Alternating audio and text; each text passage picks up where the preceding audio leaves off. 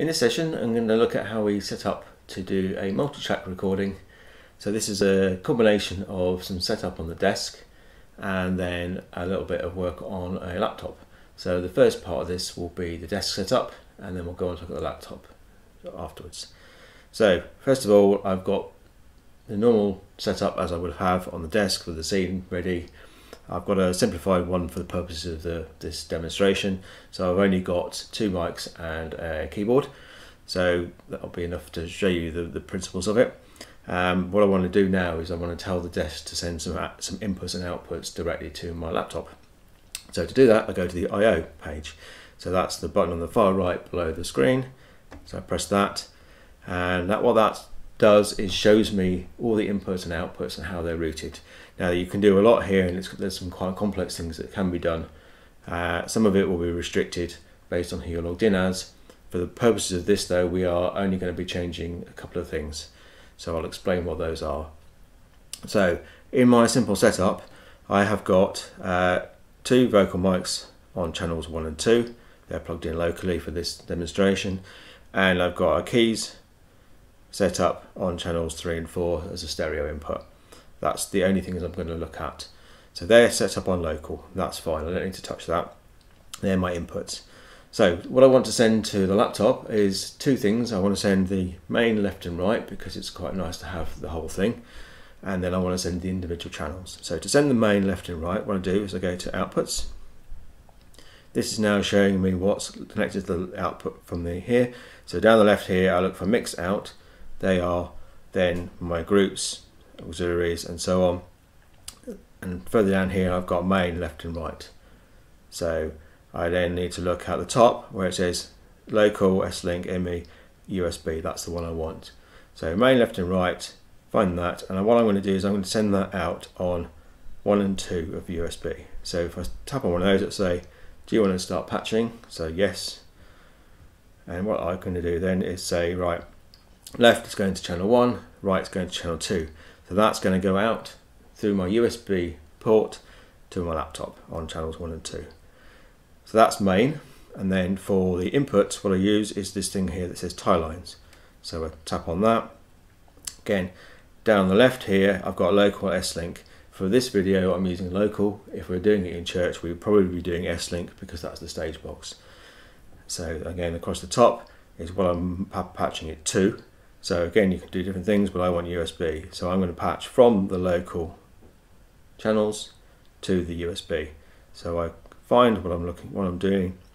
So I know that I've got my vocal mics on local one and two. So the next available USB sockets, USB channels are three and four. So I'm going to patch those three and four. My keyboard is on inputs seven and eight. It's a stereo one. So seven and eight, I'm going to map to five and six on here. So 7 and 8. So that's the patching done. That now is sending main, left and right to the first two, and then it's sending me my vocal mics through, onto 3, 4, and then the keyboards onto 7, onto 5 and 6. That's how I've patched it. That means that now it's sending the desk channels out to my laptop. And that's that, that's that now set up and ready.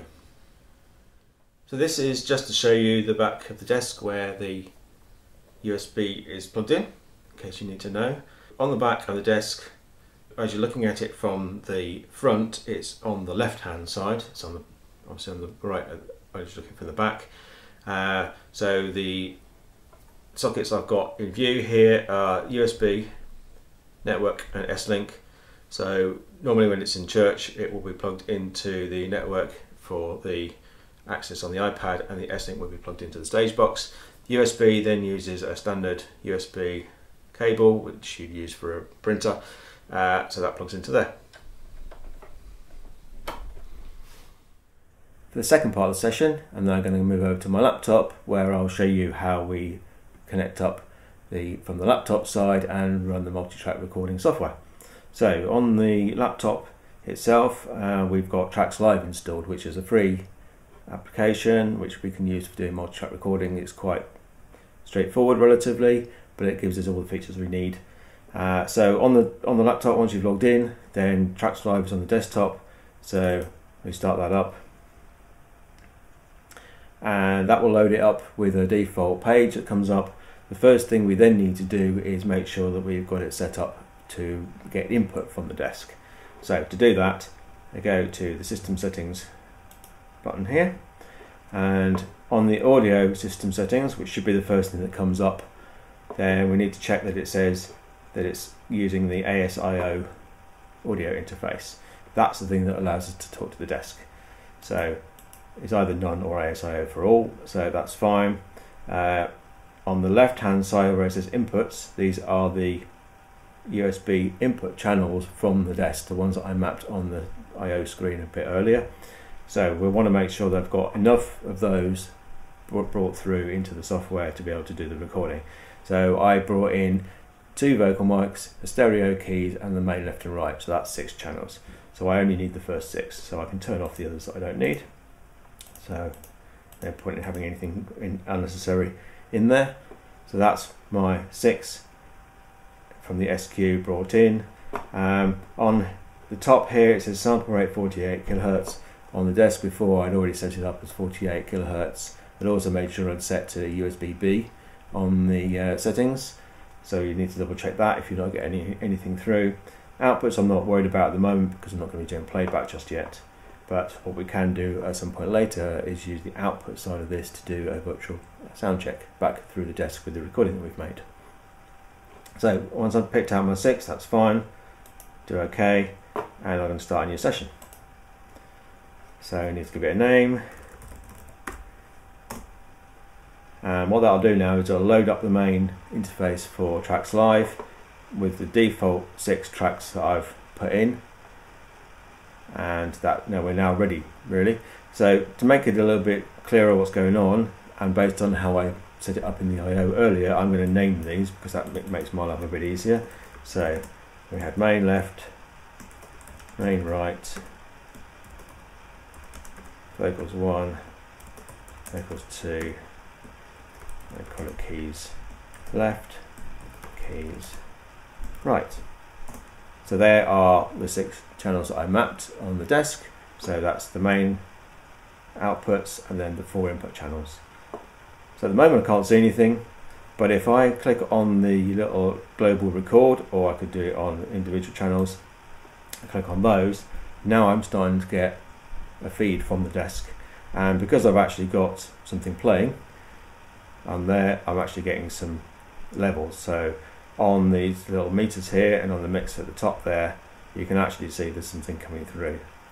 So my channels are muted, but even when the channels are muted, because they're a tie direct from the channel, I will get that coming through. And nothing on the main left and right because I've not unmuted any channels. So I don't get anything on the main left and right at all. Um, the vocal mics one and two are sat there and picking up my voice, and the keys left and right are picking up a little bit from um, a recording that's being played. So if I then go and unmute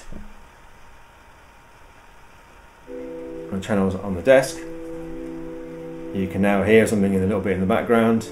You can also see that on the main uh, L and R on here, I'm now getting some levels coming through because I've got got actually got a feed coming through. So that's quite useful. So the main L and R will get the same, basically the same mix that you're getting in front of house speakers. So that's quite useful for comparisons.